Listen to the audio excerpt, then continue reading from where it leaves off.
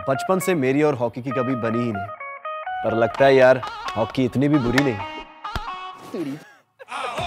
लड़की अच्छी लगी। पहुँच गया हॉकी फ़ील्ड हीरो बनने। शर्त लगा दे गोनी ना रंग नवाबी रंग नवाबी तू इस उम्र में शुरू करके कुछ कर लेगा हॉकी में? जूतियाँ किसने पड़ती है इंडिया खेलने के लिए? इंडिया खेलना है भाई। हेल्प कर दे यार।